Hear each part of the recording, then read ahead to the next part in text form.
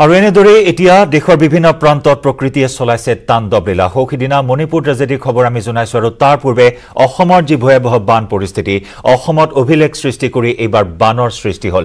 মহাপ্ৰলয়ৰ সূচনা কৰিলে মহাপ্লাৱনৰ সূচনা হ'ল বিশেষকৈ নামনি অসমৰ বান পৰিস্থিতি যদি আমি চাওঁ। পূৰ্বৰ সকলো অভিলেখ ভংগ কৰি নামনি অসমত বানে এইবেলি চলালে তাণ্ডৱ লীলা ধ্বংসলীলা।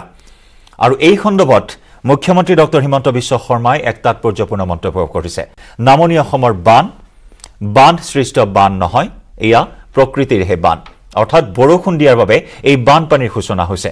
ভূটানৰ বান্ধৰ বাবে অসমত বানপানী হোৱা নাই। অত্যধিক বাবেহে অসমত হৈছে বানপানী। দিল্লীত এই মন্তব্য কৰি মুখ্যমন্ত্ৰী ডক্টৰ হিমন্ত বিশ্ব শৰ্মাই বান্ধ উঠাই দিলেও যদি ভূটান অৰুণাচলত প্ৰবল বৰষুণ হয় তেতিয়াও নামনি অংশত থকা অসমত বান হ'বই বুলি মন্তব্য কৰে মুখ্যমন্ত্ৰী ডক্টৰ হিমন্ত বিশ্ব শৰ্মাই। আমি প্ৰথমে আগবঢ়াই ল'ব বিচাৰিম মুখ্যমন্ত্ৰীগৰাকীৰ এই মন্তব্য।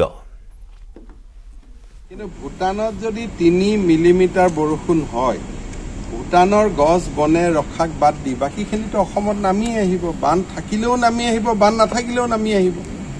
আৰু আমাৰ পানীখিনিয়ে গৈ বাংলাদেশত বানপানী কৰিবই। এইটোতো গোটেই এটা ইকলজিকেল ছিষ্টেম যেতিয়া ভূটান অৰুণাচল টিবেটত বৰষুণ হ'ব মণিপুৰত বৰষুণ হ'ব তেতিয়া সমতলত পানীটো নামি আহিবই লাগিব। এতিয়া আমাৰ মানুহে কয় বান্ধৰ কাৰণে নামি আহিলে। বান্ধ থাকক নাথাকক পানীটোতো অসমতে আহিব। প্ৰকল্পৰ কথাটো ক'লে ধৰি ল'লো মই ৰঙা নদীটো উঠাই দিলো। সেই পানীখিনিতো ৰঙা নদীয়ে জন্ম নিদিয়ে পানীখিনি বৰষুণেহে জন্ম দিয়ে। পানীখিনি জমা হৈ থাকে পানীখিনি ক'ত জমা হ'ব? তেতিয়াতো আৰু বিষয়টো- তেতিয়াতো লগে লগে আহি যাব অসমত। যদি বানটো থকাৰ কাৰণে দুদিন দেৰি কৰি আহে।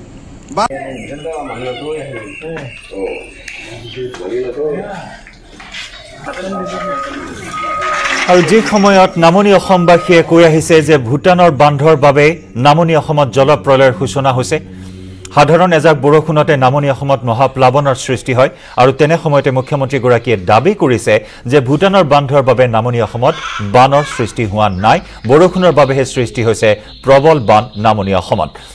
আৰু এইখিনি মুহূৰ্তত নামনি অসমত প্ৰতিক্ৰিয়াৰ সৃষ্টি হৈছে মুখ্যমন্ত্ৰীৰ এই মন্তব্য কেন্দ্ৰ কৰি। আমি প্ৰথমে সংযুক্ত হ'ম আমাৰ সাংবাদিক বজালীৰ সাংবাদিক ধ্ৰুৱজ্যোতি তালুকদাৰৰ সৈতে।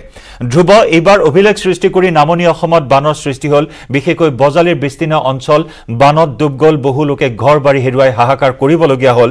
আৰু তেনে সময়তে কিন্তু মুখ্যমন্ত্ৰীগৰাকীয়ে এটা তাৎপৰ্যপূৰ্ণ মন্তব্য কৰিছে যে ভূটানৰ বান্ধৰ বাবে নামনি অসমত বানৰ সূচনা হোৱা নাই বা বানপানী হোৱা নাই এয়া বৰষুণৰহে বান। কি প্ৰতিক্ৰিয়াৰ সৃষ্টি হৈছে এইখিনি মুহূৰ্তত? হয় জয়ন্ত এই নামনি অসমৰ বান দৰাচলতে মুখ্যমন্ত্ৰী হিমন্ত বিশ্বই কোৱা ধৰণে স্থানীয় লোকসকলে লোৱা নাই। কাৰণ কিয়নো দুই হাজাৰ চাৰি বৰ্ষৰ যি বানপানী আৰু দুই হাজাৰ যি সাত বৰ্ষত যি বানপানী হৈছিলে এইটো একমাত্ৰ ভূটানৰ কুৰিচু বান্ধৰ আহ, পানী এৰি দিয়াৰ ফলত হৈছিলে। আৰু দুই হাজাৰ চাৰি বৰ্ষত তুলনাত দুই হাজাৰ সাত বৰ্ষত দীঘলীয়া ধৰণে আহ, মহাপ্ৰলয় সূচনা হৈছিল নামনি অসমত। বিশেষকৈ বেকী বেকী নদীৰে এই পানী এৰি দিয়া হৈছিল কুৰিচু নদীৰ পানী আৰু যাৰ ফলত কুৰিচু নদীৰ পানী বেকী নৈৰে আহি মানা আৰু পল্লা নৈত পৰিছিল। আৰু ইয়াৰ সমান্তৰালভাৱে বেকী নৈৰ পৰা পোনে পোনে পহুমাৰা নৈত পৰিছিল ৰূপহী নৈৰ জৰিয়তে।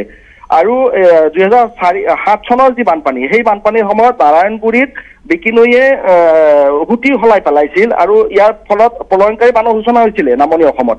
আৰু তেতিয়া সেই সময়ত ইউ জি ব্ৰহ্মৰ নেতৃত্বত সেই সময়ত প্ৰধানমন্ত্ৰী মনমোহন সিঙৰ সৈতে এক বৈঠকত মিলিত হৈছিলে আৰু এই ক্ষেত্ৰত যি ভূটানৰ যি বান বান সন্দৰ্ভত এটা পৰ্যালোচনা হৈছিলে আৰু তাৰ পৰৱৰ্তী সময়ত কিন্তু বিজ্ঞানসন্মত ভাৱে ম- যি মথাউৰি মথাউৰি নিৰ্মাণ কৰা হৈছিলে। আৰু আমি ক'ব পাৰো যে কুৰিচু বান্ধে কিন্তু দুই হাজাৰ চাৰি দুই হাজাৰ সাত বৰ্ষত প্ৰবল বানপানীৰ সূচনা কৰিছিল। সমান্তৰালভাৱে ইয়াৰ পৰৱৰ্তী সময়ত দুই হাজাৰ তেৰ চৈধ্য যি বৰ্ষ এই বৰ্ষতো আহ, ভূটানৰ পানী এৰি দিয়াৰ ফলতে বানপানীৰ সৃষ্টি হৈছিল।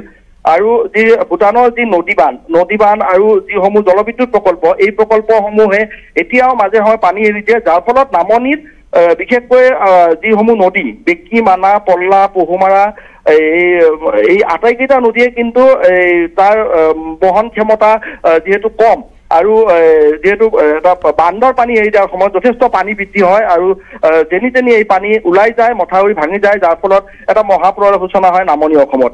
এইটো আজিৰ ঘটনা নহয় দুহেজাৰ চাৰি চনৰ পৰা নামনি অসমৰ ৰাইজে ভোগ কৰি আহিছে ভূটানৰ পানী এৰি দিয়াৰ ফলত এনেধৰণৰ বানপানীৰ যি সমস্যা এই সমস্যাত ককপকাই আছে নামনি অসমৰ ৰাইজ কিন্তু স্থায়ী সমাধানৰ কাৰণে চৰকাৰ বা ভাৰত চৰকাৰে ভূটান চৰকাৰে কোনো ধৰণৰ ব্যৱস্থা কৰা নাই।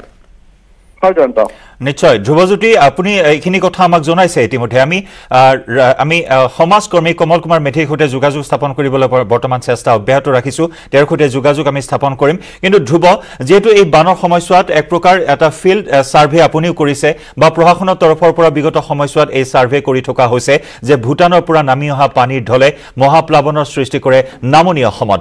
গতিকে তেনেস্থলত প্ৰশাসনৰ ফালৰ পৰা এইবেলি যি বানৰ সৃষ্টি হ'ল এই সন্দৰ্ভত কিবা মন্তব্য প্ৰকাশ কৰিছে নেকি? কিন্তু শেহতীয়াকৈ মুখ্যমন্ত্ৰীগৰাকীয়ে কিন্তু দাবী কৰিছে যে ভূটানৰ বান্ধৰ পানী নহয় এয়া। হয় এই শেহতীয়া যি বান পৰিস্থিতি শেহতীয়া যি যি আজি আজি প্ৰায় পঁচিছ দিন ধৰি এতিয়াও বান বিধ্বস্ত হৈ আছে। নামনি অসমৰ কেইবাখনো জিলা বিশেষকৈ বজালিও ইয়াৰ ইয়াৰ যি সমস্যা এই সমস্যা ভুগি থাকিব লগা হৈছে বজালি ৰাইজেও বজালি জিলাৰ ৰাইজেও। আৰু ক'ব লাগিব যে আজি খন্তেক সময় পূৰ্বে আমি এটা খবৰ লাভ কৰিছো যে কালদিয়াৰ পানী হঠাতে বৃদ্ধি পাইছে। কালদিয়াৰ পানী বৃদ্ধি হোৱা কৰি কেইবাটাও অঞ্চল ইতিমধ্যে পুনৰ বানপানী কবলত পৰিছে। কিছু সময় পূৰ্বৰ ঘটনা এয়া আৰু ক'ব লাগিব যে যেতিয়া ভূটানে পানী এৰি দিয়ে শেহতীয়াভাৱে আমি যেতিয়া বজালিত বান সৃষ্টি হৈছিলে পহুমাৰ আৰু কালদিয়া নদীত পানী বৃদ্ধি পাইছিলে তেতিয়া যে সাতশ কিউবিক পানী ভূটানে এৰি দিয়া বুলি তেওঁলোকে লিখিত যদিহে ভূটানে এনেদৰে পানী এৰি দিয়াৰ যি আগতীয়া যি জাননী আগতীয়া জাননী দিয়াৰ ফলত যদিহে বানপানী হয় তেতিয়া নিশ্চয়কৈ ক'ব লাগিব যে জলবিদ্যুৎ পানী এৰি দিয়াৰ ফলতে নামনি অসমত পানী হয়। বানপানী হয়। হয় জয়ন্ত? নিশ্চয়। নিশ্চয়। আৰু যদি চোৱা হয় ধ্ৰুৱ দুহেজাৰ চৈধ্য চনত যেতিয়া প্ৰধানমন্ত্ৰী নৰেন্দ্ৰ মোদীয়ে লোকসভা নিৰ্বাচনৰ প্ৰাক্ষণত অসমলৈ আহিছিল প্ৰচাৰ অভিযান চলাবলৈ তেতিয়া তেওঁ প্ৰতিশ্ৰুতি দিছিল যে ভূটানৰ সৈতে নদী বান্ধ নহয়। সেই প্ৰতিশ্ৰুতি প্ৰদান কৰিছিল। কিন্তু মূৰকত সেয়া হৈ নুঠিল। এটা বৃহৎ ইউটাৰ্ণ মাৰিলে আৰু অৱশেষত বৃহৎ চুক্তি হ'ল ভূটান ভূটান আৰু ভাৰত চৰকাৰৰ মাজত বৃহৎ নদী বান্ধৰ। আনকি চল্লিছ শতাংশ ৰাজ সাহায্য আৰু ভাৰতৰ পৰা ষাঠি শতাংশ ঋণ লৈ সেই নদী বান্ধ হ'ল। আৰু সেই নদী বান্ধৰ পানীয়ে এনেদৰে মহাপ্লাৱনৰ সূচনা কৰি আহিছে। বিভিন্ন দল সংগঠনে প্ৰতিবাদো কৰি আহিছে বিগত সময়ছোৱাত। কিন্তু হঠাৎ এনেদৰে ভাৰত চৰকাৰৰ পৰাই ধন লৈ নিৰ্মাণ কৰা বান্ধে কিন্তু ভাৰততে বাৰে বাৰে আঘাত হানি আছে। জয়ন্ত ক'ব লাগিব যে প্ৰধানমন্ত্ৰী নৰেন্দ্ৰ মোদীৰ যেতিয়া চুক্তি স্বাক্ষৰ হৈছিল ইয়াৰ পিছত এতিয়া শেহতীয়াভাৱে আৰু এশ চাৰিটা বৃহৎ বৃহৎ জলবিদ্যুৎ প্ৰকল্পৰ কাম ভূটানে কৰি থকা বুলি আমি জানিব পাৰিছো।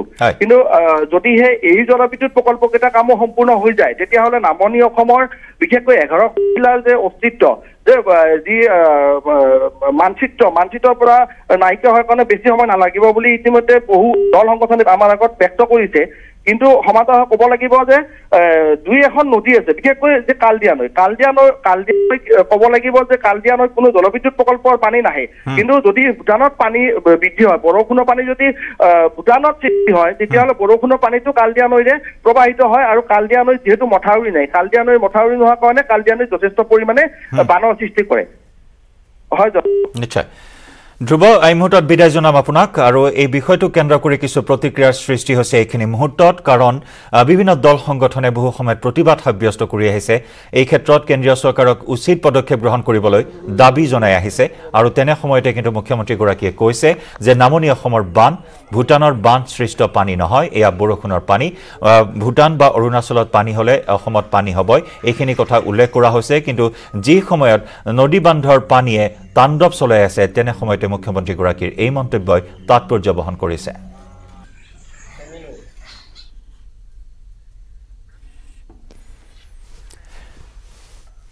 দ্য মৰ্ণিং শ্ব'ত আমি খবৰত